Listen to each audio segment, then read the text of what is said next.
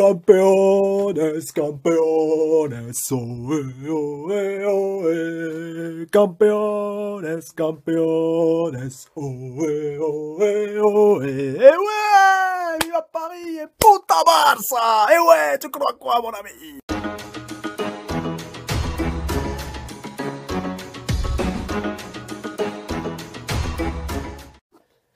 Yo, salut les petits Moogies, j'espère que vous allez bien. On se retrouve aujourd'hui pour euh, votre review du chapitre 262 de Seven Deadly Sins. Encore une fois, vous inquiétez pas, je me suis pas gouré de, de vidéos, même si à mon avis je vais faire un bon gros débrief bien chargé sur ma chaîne secondaire Landers News. N'hésitez pas à aller la mater, à vous abonner à la chaîne. Vous êtes trop trop peu nombreux sur Landers News, même sur celle-là, tu me diras.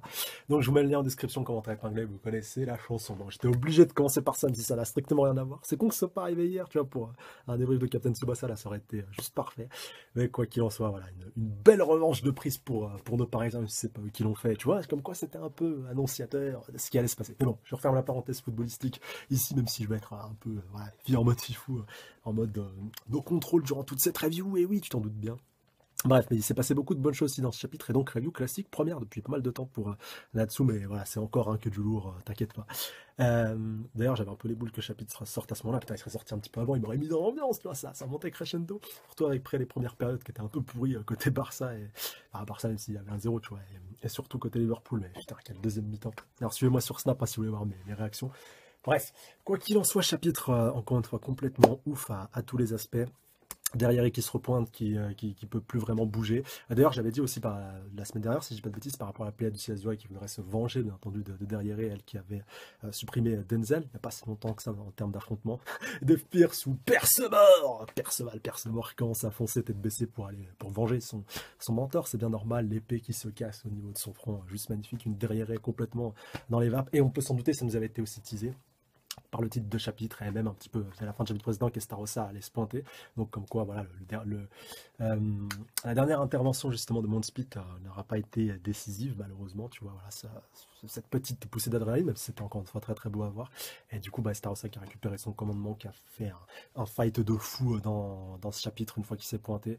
Elisabeth qui a un petit peu du mal aussi à capter ce qui se passe. D'ailleurs Berlin qui n'est pas qui est pas présente hein, si je dis pas de bêtises qui n'est pas de ce côté-là, ou alors vraiment qu'elle reste planquée en SCAD, parce que je rappelle qu'elle a le commandement de là, donc même pour Restarossa, ça peut être l'occasion de récupérer deux commandements, un sur, tu vois, avec derrière, après on verra comment ça se passera, vu qu'il a quand même affaire à, trois archanges, et euh, Starossa, bah, qui n'a pas du tout euh, lâché l'affaire, qui a fait lui aussi un, véritable massacre, euh, carnage, euh, une belle invocation aussi encore une fois avec, euh, avec ce feu, bah, je pense de toute façon que c'est lié, même s'il avait lui aussi une certaine maîtrise du feu, du feu noir, donc ça a dû être un petit peu augmenté je pense par Speed, ou pas du tout, si c'est pas lié à son à son commandement. Enfin voilà, c'est peut-être moi qui me fait un peu des. Enfin, je me dis peut-être qu'il a pu lui, pomper un peu de son, pouvoir, peut-être qu'il a pu absorber ses flammes pour me les ressortir après. Enfin, à vous de me dire ce que vous en pensez en commentaire. Et euh, j'ai mal à la pour ça, ça, vient de craquer, putain, ça me tue, tu vois, la contrepartie. Rassurez-vous, on fait tout craquer, ça va beaucoup mieux. Euh, mais quoi qu'il en soit, au niveau de, ce combat, bah, Sariel et puis Tarmiel qui ont libéré leur vraie forme. Alors, c'est pas leur forme Indula, tu vois. Ça m'a fait, un peu fait penser à l'équivalent, on va dire, leur, leur vraie forme de, de déesse. Et euh, surtout, bah, encore une fois, voilà, Estarossa qui a juste été monstrueux. Bon, après, bah, pour les soldats d'Hauser, il a bien compris qu'il fallait lui rester en retrait parce que là, Estarossa était juste surpuissant et que ça allait euh, continuer de monter crescendo, tu vois, vis-à-vis -vis de cette thématique-là. Et c'est bien normal, voilà, vu tous les commandements qu'il est en train de récupérer. Mais euh, quoi qu'il en soit, voilà, en termes, euh, au niveau de son affrontement, bah, il a mis une véritable PLS magistrale à Sariel et Tariel, même si ces derniers ont évoqué que qu'un archange valait deux commandements. Bon, bah, ça fait au total que tous les archanges ne sont pas aussi puissants que les dix commandements, mais qui sont que quatre. À part ses comptes Elisabeth dedans, mais c'est vrai quoi, même Maël à l'époque, et que Scanner maintenant lui aussi peut faire la différence à, lui tout seul. Et comme Estarossa le dit très bien, et met bien le couteau dans la plaie, salaud, euh, en disant qu'il a supprimé euh, le plus puissant. Donc en gros, ils sont du menu frottin pour lui. Je pense pas qu'ils vont claquer. Euh, maintenant, ça serait un petit peu trop précipité. Peut-être que Odochel va venir les sauver. Ou euh, je pense plus à Elisabeth qui pourrait mettre un terme à cet affrontement, repousser, repousser Starossa pour suffisamment de temps. À moins que Melodas intervienne pour venir calmer son frangin et que le fight entre le frangin éclate maintenant. Parce que là, vous avez compris, hein, ça part directement dans tous les sens on enchaîne les gros combats. Déjà, Speed est derrière contre Estarossa, mais c'était pas vraiment un hyper gros fight compte tenu leur, bah, du fait qu'ils aient plus qu'un seul cœur, il n'y a plus leur forme Doula, ils peuvent pas se lâcher totalement. Et en plus de ça, le pouvoir, euh, la magie de Mondspeed, euh, qui, euh, de derrière, pardon, qui n'a strictement aucun, aucun impact et efficacité sur le pouvoir d'Estarossa, comme Mondspeed l'avait très bien évoqué dans le chapitre précédent. Alors là, vraiment du, très très lourd à, tous les levels et on n'est pas prêt pour la suite et, ça va vraiment partir dans, tous les sens. D'ailleurs, Oda, ça me fait penser, tu vois, je voulais faire un parallèle entre Oda et Nakaba, je pense que Nakaba cogite pareil.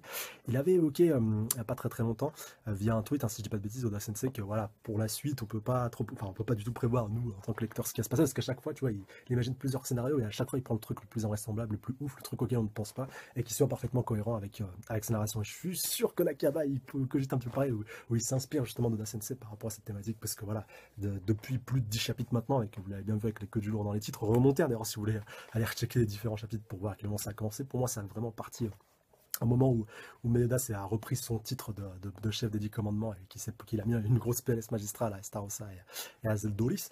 Mais quoi qu'il en soit, vraiment, c'est juste complètement ouf et, c'est pas loin d'être terminé. Alors on va rebondir bien sûr sur les euh, sur le, les vrais pouvoirs, la vraie nature des pouvoirs euh, de Tarniel et puis Sariel, même si on ne sait pas à qui appartient quoi, donc à savoir le pouvoir de l'océan et et du vent, si je dis pas de bêtises. Euh, Inferno, truc comme ça. Non, pas, Inferno, Inferno, ça aurait plus été le feu. Enfin voilà, je sais que c'est en rapport avec le, vent et, l'eau, et donc on verra bien à qui correspond quoi. Je ferai une, une petite pièce pour, euh, pour Tarmiel, donc euh, le grand, donc il y a trois têtes, même si on n'a plus qu'une dans sa réforme Indula, ça aussi c'est important de, le souligner. Peut-être que c'est voilà, il a évolué avec le temps, peut-être qu'elles se sont recollées, peut-être que c'est un seul visage qui tourne un peu à la à la Voldemort dans Harry Potter 1, tu vois, avec, avec le professeur Quirrell quoi qu'il en soit, c'est pas si important que ça de, le savoir. Mais euh, surtout, euh, voilà, bah, je pense que lui serait plus centré sur le vent ou l'océan. Allez, plus l'océan, on va dire, pour, pour, ta, pour, ça je préférerais plus. Et puis donc, pour, pour plus le, vent, ça pourrait être bien. Ça, ça, ça, coïnciderait bien. même si j'en attends pas mal des deux aussi. Mais je pense encore une fois qu'Elisabeth va, va, leur sauver la mise. Benner, on l'a bien vu quand elle a réussi à pratiquement sceller, justement, euh, même si ça n'a pas duré très très longtemps, tu vois, elle a pu le soustraire, elle a pu soustraire à, son, à son influence. On a bien vu aussi quand elles ont été bloqué un petit peu dans les flammes à un moment donné, même si euh, assez rapidement Sariel et Tarniel, bah c'est un petit peu normal aussi, euh, se sont remis un peu dans le bain pour euh, aller s'occuper des stars. Ça, comme quoi, c'était un motherfucking foreshadowing en, puissance, ce, chapitre, enfin, cette intervention il y a quelques chapitres, on ne sait pas bien entendu qu'on aurait ce fight-là aussi vite, on pouvait s'en douter vu la fin du chapitre précédent, mais pas, pas aussitôt, tu vois. Et c'est ça aussi qui est, juste super génial avec ce chapitre, encore une fois, full centré action. À noter aussi, encore une bien entendu, l'intervention d'Elisabeth et Starossa, donc forcément leur vrai lien, je pense qu'il va peut-être pas tarder à être révélé. Bah après cet affrontement-là, où si Elisabeth vient, vient l'interrompre, faut pas oublier qu'aussi, voilà, c'est elle qui a, qui a réussi à projeter Starossa et de quelle manière de, l'autre côté. D'ailleurs, Sariel et Tarmel l'ont très bien souligné en disant, voilà, même si t'es Starossa, elle a dit commandements, c'est bien que tu as réussi à, survivre à une attaque aussi puissante, bien entendu, parce qu'ils veulent en terminer avec lui au plus vite. Et du coup, pour reprendre ce que je disais, c'était pas Inferno, c'était Tornado. Donc voilà, c'était pas le, cheval de, de ce bon vieux Zoro. Bah oui, forcément, tu es obligé de penser à ça. Et quoi qu'il en soit, même au moment où euh, il répand un petit peu tous ses pouvoirs démoniaques sur eux pour, euh, pour les tuer un petit peu l'intérieur, tu vois, pour les vicier. Donc c'est à ce moment-là qui, révèle leur vraie nature. Euh, on peut s'empêcher, encore une fois, à trouver cette scène juste magnifique et hyper stylée. Pour le coup, bah, ça casse cette vraie couverture qu'ils avaient jusqu'à maintenant. Et donc, bah, ça les fait apparaître sur, sous leur vraie nature et avec leur vraie puissance, leur vrai pouvoir, juste magnifique. Et surtout, bah, encore une fois, cette volonté de, de vouloir s'en parce que c'est vrai, tu vois, j'insiste sur ce point-là tout mais c'est vrai qu'il n'y a pas eu de, fight à proprement parler contre Sariel et Tarmiel, à part, voilà, vraiment sur la fin, c'était vraiment une, un, double chaos qui avait failli être provoqué. Tu vois, j'avais presque oublié ce, point-là, un peu dans, l'euphorie du match et tout ce que je vous ai évoqué en début de vidéo. Mais vraiment, encore une fois, du très très lourd qui annonce du, du très très bon pour la suite. Euh, franchement, encore une fois, au niveau des commentaires aussi, vous avez évoqué pas mal de points qui étaient super intéressants. Forcément, le, choc qui était un petit peu prédominant, on pouvait se douter encore une fois de, ce qui allait se passer, et encore moins comment ça allait, prendre une tournure comme ça. Tu vois déjà dans le chapitre précédent, et ça se vérifie encore plus dans, dans ce chapitre, même s'il y avait forcément là aussi, encore une fois, derrière, comme toujours, beaucoup, beaucoup d'attentes. Vous aviez aussi le nez creux, tu vois, en évoquant plusieurs possibilités comme le retour du clan des démons, voire même de Zeldris, de Cusack, euh, de, Chandler, enfin plus ces deux-là, tu vois, que Zeldris est encore avec Meliodas, mais je pense quand même que Meliodas peut être un des intervenants, parce qu'il y aura un intervenant soit pour sauver derrière, soit pour repousser Starossa, tu vois, éviter qu'il y ait euh, des, décès aussitôt, tu vois, surtout, bah, même du coup, moi, c'est plus du côté des archanges, tu vois, que, je flippe un petit peu, bon, on sait jamais, tu vois, pas beaucoup de surprises, euh, mais à mon avis, peut-être même qu'on aura une fausse mort un peu à la mais Raskela, rappelle-toi, contre, contre Ban et, et Scanner, surtout quand à la fin on l'avait vu tomber dans, dans le vide, voilà, coupé en deux, puis à la fin il a quand même survécu, tu vois. Même Greyroad, faut pas oublier qu'il, même s'il s'est fait retirer son commandement, lui aussi est toujours vivant, donc il peut y avoir pas mal d'autres, bons petits points. Là aussi, vous aviez spéculé euh, par rapport à derrière, peut-être qu'il voudrait quand même voulu enchaîner ou, euh, ou s'associer avec les autres, et bah, elle reste totalement impassible, même si tu vois, elle s'arrange bien derrière Elisabeth, ça aussi c'était une thématique qui était très, très, très, intéressante, malgré tout le passif qui est entre les deux, même si mine de rien, voilà, elle l'a quand même protégé à l'époque, et même il n'y a pas très longtemps euh, ici aussi donc vraiment du, très très bon à tous les même si je vois bien derrière à claquer à un moment ou un autre. Alors peut-être que justement ça sera peut-être soit Ryu Doshel, comme certains l'imaginent, même s'il est parti de l'autre côté. ça peut toujours être Serial et Tarmiel. Attention, si jamais ils s'en sortent, voilà, l'un des deux peut avoir une fenêtre de tir, peut-être qu'Elisabeth pourra pas la, sauver juste à temps, peut-être qu'elle prendra l'attaque à sa place, je sais pas, même si elle a des pouvoirs de régénération. Bon voilà, ça, ça fuse un petit peu dans, tous les côtés dans ma tête. Et en tout cas, bah, c'est avec beaucoup d'impatience qu'on attendra la suite. Et d'ailleurs, l'animé, qui n'était pas présent malheureusement la, semaine dernière, j'ai oublié de vous préciser, on n'était pas tout à fait sûr aussi en même temps, et bah il revient ce week-end et on l'attendra bien sûr, comme toujours, avec beaucoup d'impatience. Mais vous allez pouvoir flipper encore longtemps, mon avis, pour derrière. Parce qu'à avis, elle est plus proche de la fin que, que, du, euh, que du début. Et plus proche de la fin que pas mal d'autres persos aussi, à, mon avis. Mais bon, on verra bien. Voilà. faites vos jeux dans le commentaire. Vous voyez plus Sariel, Tarmiel qui en premier, ou alors plutôt de, l'autre côté. Euh, derrière dites-moi tout ce que vous en pensez en commentaire. Et moi je vous dis beaucoup d'impatience à la semaine prochaine. Faites vos jeux encore une fois dans les commentaires. Prenez soin de vous. Salut à tous. Restez connectés encore du très très lourd. Ça en